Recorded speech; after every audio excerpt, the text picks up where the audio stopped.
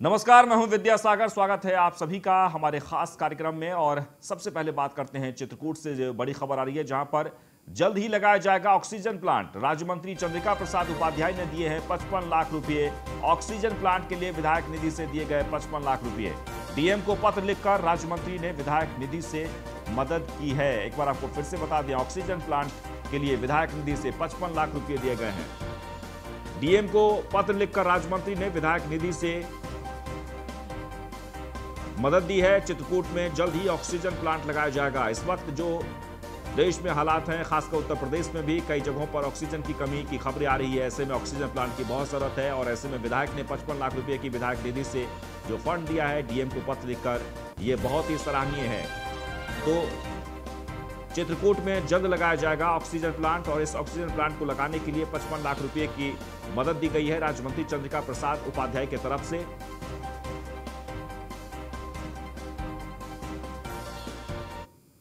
लहर की भयावहता को देखते हुए और रोगियों के ऑक्सीजन की मांग, बढ़ती हुई मांग के मद्देनज़र जनपद चित्रकूट में ही ऑक्सीजन का प्लांट लगाए जाने के लिए मैंने अपनी विधायक निधि से पचपन लाख रुपए जिलाधिकारी को पत्र लिखकर सीएमओ को निर्गत करने के लिए अनुरोध किया है।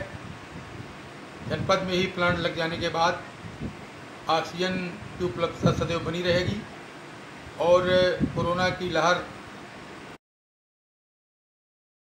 मरीजों को ऑक्सीजन की आवश्यकता पड़ेगी, वो यहीं यहीं पर उपलब्ध हो सकेगी और आगे चल कर के किसी प्रकार की कोई कमी नहीं रहेगी। मैंने जिलाधिकारी को भी कहा है इसमें यदि और भी कोई पैसों की कमी पड़ती है तो वो धनराशि भी मैं उपलब्ध करा दूँगा। और मैं चाहता हूँ कि शीघ्र से शीघ्र यह प्लांट जनपद में स्थापित वही नोएडा मेट्रो की महिला अधिकारी की कोरोना से मौत हो गई है। उप प्रबंधक कम्युनिकेशन संध्या शर्मा की कोरोना से मौत हो गई है। मेट्रो एनएमआरसी में तैनात थी महिला संध्या शर्मा। एक हफ़्ते से कोरोना से लड़ रही थी संध्या शर्मा। कल ही संध्या को हॉस्पिटल में भर्ती कराया गया था, जहाँ मौत की खबर आ रही है। आपको बता दें कि कोरोना से लगातार मौतें हो रही है और उप प्रबंधक कम्युनिकेशन संध्या शर्मा की भी कोरोना से मौत हो गई है। मेट्रो में तैनात थी नोएडा मेट्रो की महिला अधिकारी की कोरोना से मौत हो गई है। कल ही अस्पताल में भर्ती कराया गया था और आज संध्या शर्मा का निधन हो गया है। एक बार आपको फिर से बता दें उप प्रबंधक कम्युनिकेशन के तौर पर तैनात थी उप प्रबंधक के नोएडा मेट्रो में और फ़िलहाल जो खबर आ रही है, बहुत ही दुखद कोरोना से संध्या शर्मा की मौत हो गई है। नोएडा मेट्रो की महिला अधिकारी की कोरोना से मौत हो गई है। खबर मेरठ से, जहाँ रेमडेसिविर इंजेक्शन की कालाबाजारी का पर्दाफाश किया गया है। पुलिस ने मामले में दो लोगों को गिरफ़्तार किया है। तीमारदार बनकर इंजेक्शन खरीदने पहुँची थी पुलिस। कोविड वार्ड के वार्ड बॉय ने पच्चीस हज़ार में इंजेक्शन बेचा। पुलिस ने वार्ड बॉय समेत छह लोग पर मुकदमा दर्ज किया है। जानी थाना क्षेत्र के सुभारती मेडिकल कॉलेज का ये मामला है, जहाँ पर रेमडेसिविर इंजेक्शन का कालाबाजारी करते हुए भंडाफोड़ किया गया है। जानी थाना क्षेत्र के सुभारती मेडिकल कॉलेज का यह मामला है। एक बार आपको फिर से बता दें, रेमडेसिविर इंजेक्शन की कालाबाजारी का पर्दाफाश किया गया है। पुलिस तीमारदार बनकर पहुँची थी। पुलिस ने दो लोगों को गिरफ़्तार भी किया है। तीमारदार बनकर इंजेक्शन खरीदने पहुँची थी पुलिस और फिर कोविड वार्ड के वार्ड बॉय ने पच्चीस हज़ार में इंजेक्शन बेचा। पुलिस ने वार्ड बॉय समेत छह लोगों को, छह लोगों पर मुकदमा दर्ज किया है। दो की इसमें गिरफ्तारी हुई है। सुहारती हॉस्पिटल में रेमडेसिविर इंजेक्शन के कालाबाजारी की सूचना प्राप्त हुई थी। सूचना प्राप्त होते ही तत्काल पुलिस के द्वारा जाँच की गई, रेड की गई तो उसमें दो व्यक्तियों को गिरफ़्तार किया गया है, जिनका नाम अंकित है और आबिद है। इनमें से एक कोविड वार्ड में कार्यरत कर्मचारी है और दूसरा व्यक्ति नॉन कोविड वार्ड में कार्यरत कर्मचारी है। इनसे पूछताछ की जा रही है, मुकदमा पंजीकृत कर अग्रिम वैधानिक कार्रवाई की जा रही है। यानी कि सुहारती हॉस्पिटल में रेमडेसिविर इंजेक्शन के कालाबाजारी की सूचना प्राप्त हुई थी। सूचना प्राप्त होते ही तत्काल पुलिस के द्वारा जाँच की गई, रेड की गई तो उसमें दो व्यक्तियों को गिरफ़्तार किया गया है, जिनका नाम अंकित है और आबिद है। इनमें से एक कोविड वार्ड में कार्यरत कर्मचारी है और दूसरा व्यक्ति नॉन कोविड वार्ड में कार्यरत कर्मचारी है। इनसे पूछताछ की जा रही है, मुकदमा पंजीकृत कर अग्रिम वैधानिक कार्रवाई की जा रही है। यानी कि सुहारती तो आपको बता दें कि रेमडेसिविर इंजेक्शन की कालाबाजारी करने वालों की खैर नहीं है और मेरठ में दो लोगों को गिरफ़्तार किया गया है, वहीं छह लोगों पर मुकदमा दर्ज किया गया है। रेमडेसिविर इंजेक्शन की कालाबाजारी का पर्दाफाश किया गया है। पुलिस ने तीमरदार बनकर इंजेक्शन खरीदने के लिए जब पुलिस पहुँची तो वार्ड बॉय ने पच्चीस हज़ार में इंजेक्शन को बेचा। फ़िलहाल इस मामले में दो लोगों को गिरफ़्तार किया गया है।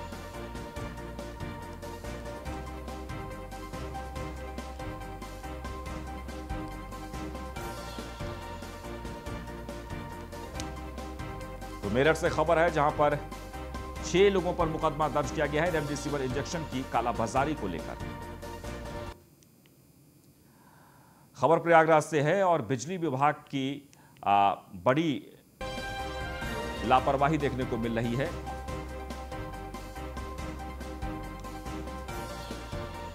बिजली विभाग की लापरवाही से संविदा कर्मचारी की मौत हो गई है। एक बार आपको फिर से बता दें करंट की चपेट में आने से संविदा कर्मचारी की जलकर मौत हो गई है। फॉल ठीक करने के लिए खंभे पर चढ़ा था। उसी दौरान करंट आने से मौत हो गई। परिजनों ने हंगामा किया है। सोराव थाना क्षेत्र के घोसड़ा पावर हाउस के बरचनपुर का यह मामला है। प्रयागराज से खबर है जहाँ पर बिजली विभाग की बड़ी लापरवाही सामने आई है। बिजली विभाग की लापरवाही से संविदा कर्मचारी की मौत हो गई है। तस्वीरों में आप देख सकते हैं। दरअसल मामला ये है कि ये कर्मचारी जो है, वो बिजली ठीक करने के लिए पोल पोल पर चढ़ा था। फोल्ट को ठीक करने के लिए खंभे पर चढ़ा था। और उसी दौरान करंट लगने से मौत हो गई। परिजनों ने हंगामा किया है।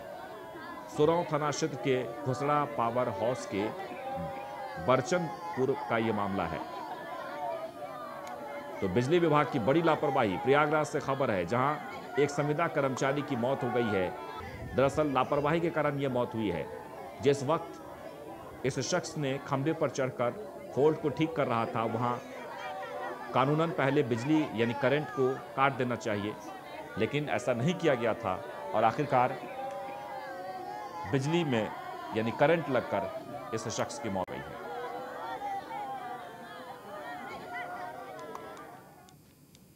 और खबर दिल्ली से है, जहाँ ऑक्सीजन की कमी से 20 मरीजों ने दम तोड़ा है। जयपुर गोल्डन अस्पताल में बीती रात खत्म हुई थी ऑक्सीजन, मृतक के परिजनों का रो रो कर बुरा हाल है। आपको बता दें कि ऑक्सीजन को लेकर हाहाकार है। ऑक्सीजन कमी की जानकारी क्यों नहीं पहले दी गई? परिजनों का यह कहना है, गंगाराम और अस्पताल में भी ऑक्सीजन की कमी से मौतें हो चुकी है, लेकिन इस बीच जो बड़ी खबर आ रही है, वो ये कि 20 मरीजों की मौत हो गई है ऑक्सीजन की कमी से। दिल्ली से खबर है।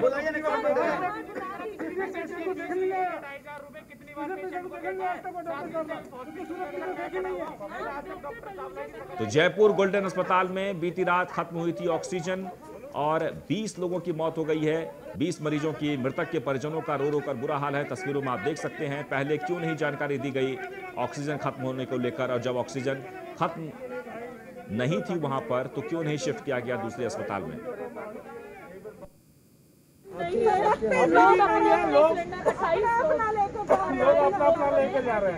बीस बता रहे हैं अस्पताल को। अस्पताल को बीस बता रहे हैं। कितने कितना लोग मरे कोई बोलता है चालीस लोग मरे हैं सब अंदर। अभी एक लेडी अंदर पड़ेगी उसका हस्बैंड मारा है सुबह से रो रहे हैं लोग यहाँ पड़े बहन गई है। क्योंकि इनका बदनामी होगी पैसा क्या आप लोगों को बताया था कि ऑक्सीजन नहीं बताते तो इंतज़ाम करते ना हम लोग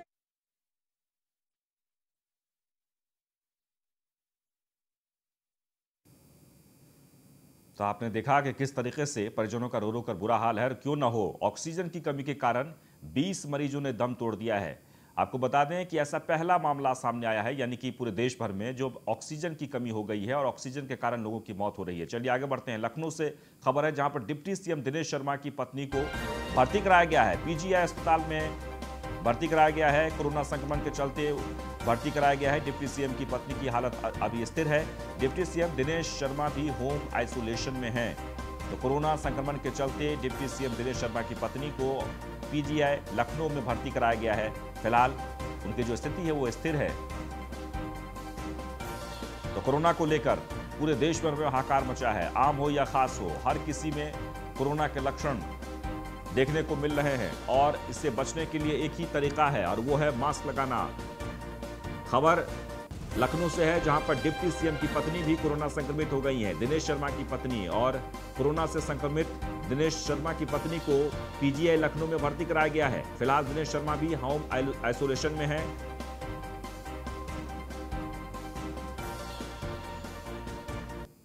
तो देश में ऑक्सीजन की कमी से बड़ी संख्या में लोग दम तोड़ रहे हैं। ऐसे में हेल्थ मिनिस्ट्री ने एक एडवाइजरी जारी की है कि योग के ज़रिए भी शरीर में ऑक्सीजन लेवल को बढ़ाया जा सकता है। तो कौन कौन सा योग कोरोना मरीजों के लिए बेहद फ़ायदेमंद है? आइए देखते हैं।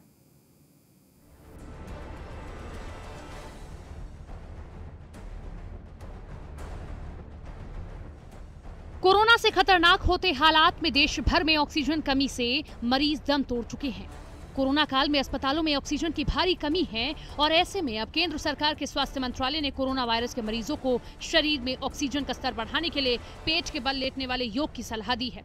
सरल भाषा में पेट के बल लेटने को ट्रॉनिंग कहते हैं। ये योग खासकर उन लोगों के लिए काफ़ी उपयोगी है जिनकी इन्फेक्शन की वजह से फेफड़े खराब हो चुके हैं और सांस लेने में दिक्कत हो रही है। घर रहकर इलाज कर रहे मरीजों के लिए फ़ायदेमंद। पेट के बल लेटने से ऑक्सीजन की कमी दूर होगी। ट्रॉनिंग से फेफड़ों पर पॉजिटिव प्रेशर बनता है और शरीर में ऑक्सीजन की कमी दूर होती है। ये चिकित्सीय रूप से प्रमाणिक तरीका है। पिछले कुछ समय से डॉक्टर भी इसे अपनाने की सलाह दे रहे थे और अब स्वास्थ्य मंत्रालय ने भी इस तरीके को अपनाने की एडवाइजरी जारी कर दी है। हालाँकि प्रोनिंग के दौरान कुछ चीज़ों का खास बातों का ध्यान रखना ज़रूरी है। खाना खाने के तुरंत बाद प्रॉनिंग नहीं करना चाहिए।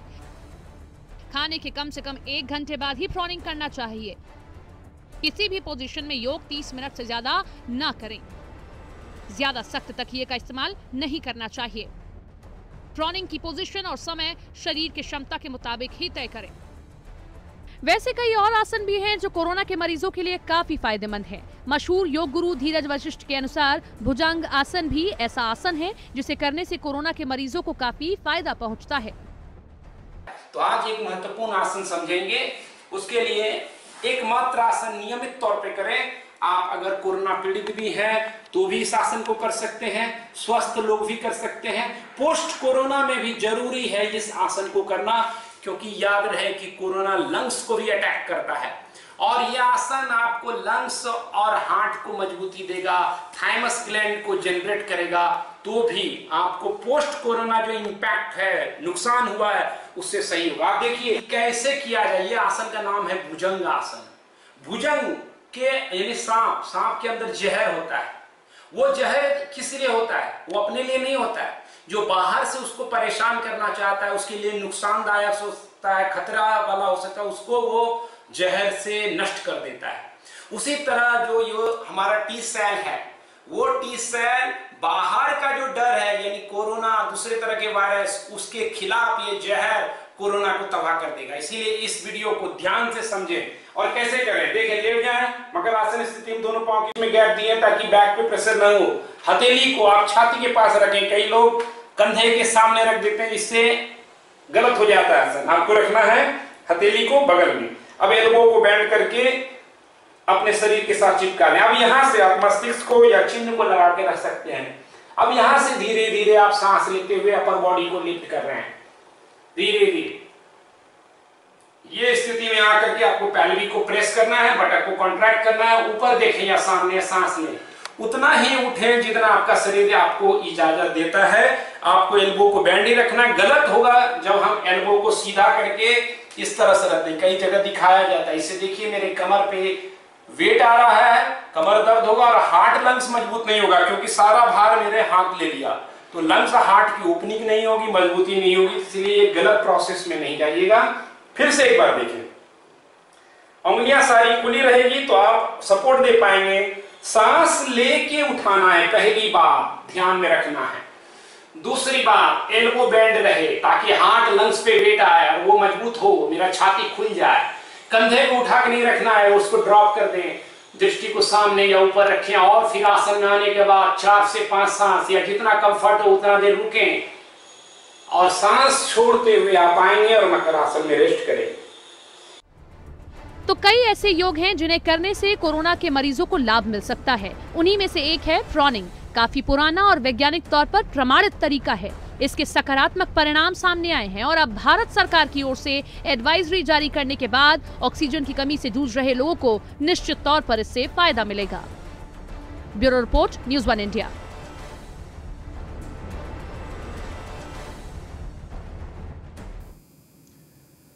और गाजियाबाद में ऑक्सीजन प्लांट के बाहर लंबी लंबी कतारें देखने को मिल रही हैं। दिल्ली एनसीआर सहित गाजियाबाद में कई प्राइवेट हॉस्पिटल में ऑक्सीजन खत्म हो चुकी है। ऐसे में जिन मरीजों को ऑक्सीजन की ज़रूरत है, उनके तीमरदार ऑक्सीजन प्लांट के बाहर सिलेंडर लेकर लंबी लंबी लाइन लगाकर खड़े हुए हैं और अपनी बारी का इंतज़ार कर रहे हैं। कोरोना संक्रमण का एक ऐसा दौर आया, जिस दौर में हवा के लिए, यानी कि ऑक्सीजन के लिए भी लंबी कतारों में खड़ा होना पड़ा। आपको दिखाएँगे कि ऑक्सीजन, यानी बचाने ऑक्सीजन बहुत ज़रूरी है और इस ऑक्सीजन को लेने के लिए लोग अपने अपने सिलेंडर लेकर अपने अपने परिजनों को अपने अपने चाहने वालों को बचाने के लिए लंबी कतार में खड़े हैं धूप में खड़े हैं। आइए इन लोगों से बात करते हैं और समझते हैं कि किस तरह की वो पीड़ा है जिस पीड़ा में ये लोग आज कतार में खड़े हैं। क्या लेना? ऑक्सीजन लेना सांस लेना जो कि मुफ़्त में हुआ करती थी। आज उसका भी पैसा देने के लिए विवश है। सर क्या नाम है सर आपका? जसवीर सिंह। आज कितनी देर से यहाँ पर खड़े हैं? एक घंटा हो गया। एक घंटा हो गया। क्या लेने के लिए खड़े हैं? ऑक्सीजन लेने के लिए। क्या वजह है ऑक्सीजन लेकर पेशेंट को ऑक्सीजन की ज़रूरत है कोविड में। यानी कि वो जगह वो चीज़ जो मुफ़्त में मिला करती थी भगवान प्रकृति से दिया करता था आज इसके लिए भी लंबी कतार लगानी पड़ रही है। और भी लोगों उनसे ही बात करेंगे। क्या नाम है तुम्हारा? क्या क्यों खड़े हो यहाँ पर? ऑक्सीजन के लिए। ऑक्सीजन के लिए। क्या वजह है? बीमार है घर में। बीमार है। क्या नाम है आपका? ऑक्सीजन ऑक्सीजन के लिए खड़े हैं पेशेंट की हालत सीरियस है हो गए करीब दो घंटे हो गए बीमारी खतरनाक है ये? जी जी बीमारी खतरनाक। क्या बच कैसे बचना चाहिए? इससे मास्क लगाना चाहिए सैनिटाइजर करना चाहिए और दो गज की दूरी बना के रखें। तो ये वो आ, मंत्र था जिस मंत्र को लोगों ने नजरअंदाज किया। दो गज की दूरी और मास्क है ज़रूरी लेकिन अब उस मंत्र को लोग समझने भी लगे हैं, क्योंकि जिस तरीके से कोरोना संक्रमण एक बार फिर वापस आया और देश में देखते ही देखते अपने पैर पसारने लगा। और इसी के कारण जो लोग हैं, आज ऑक्सीजन को खरीदने के लिए भी लंबी लंबी कतारों में देखने को मिले हैं। ब्रिटेन सिंह के साथ गौरव यादव, न्यूज़ इंडिया। तो इससे पहले आपने कभी नहीं इस तरह की लाइन देखी होगी, ऑक्सीजन के लिए भी लोग वेट कर रहे हैं सिलेंडर लेकर। और सबसे जो महत्वपूर्ण है ये कि ऐसा पहली बार हुआ है कि ऑक्सीजन के कारण लोगों की जाने जा रही है और अस्पताल में ऑक्सीजन नहीं है। इससे बड़ा दुर्भाग्य नहीं हो सकता। दिल्ली के रोहिणी में स्थित जयपुर गोल्डन अस्पताल से खबर है, जहाँ पर ऑक्सीजन के बिना 20 लोगों की जान चली गई है। रात में ही ऑक्सीजन खत्म होने की खत्म हो गई थी। 20 लोगों की मौत हो गई है, जिसके बाद से अस्पताल में हड़कम बचा हुआ है। आज दोपहर करीब एक बजे ऑक्सीजन का टैंकर पुलिस की निगरानी में अस्पताल में पहुँचाया गया, जिसके बाद अस्पताल प्रशासन ने राहत की सांस ली है। आप देखते हैं, पुलिस की तरफ़ से जो है, यहाँ पर सुरक्षा में, पुलिस की सुरक्षा में ऑक्सीजन लेकर आए हैं हॉस्पिटल में, क्योंकि सरोज हॉस्पिटल में जो है, बीती रात ऑक्सीजन न होने की वजह से करीब 20 लोगों की जो है, वो मौत यहाँ पर हुई बताई जा रही थी। उसके बाद जो है, अब ये देखिए, यहाँ पर जो ऑक्सीजन का कंटेनर है, वो यहाँ पर पहुँचा है और उम्मीद है कि अब जो मरीज़ है, उनको कहीं ना कहीं, उनके परिजनों को कहीं ना कहीं राहत मिलेगी, क्योंकि ऑक्सीजन फ़िलहाल जो है, यहाँ पर आई है। लेकिन अभी भी देखने वाली बात यही रहेगी कि यह भी ऑक्सीजन कितने देर की है, कितने देर और यहाँ पर जो है मरीज़ वो सफ़र कर सकते हैं और अपनी जान से लड़ सकते हैं। मैं दीपक शर्मा, न्यूज़ वन। तो आप सेफ़ रहिए, सुरक्षित रहिए और अपना ख्याल रखिए। फ़िलहाल इतना ही।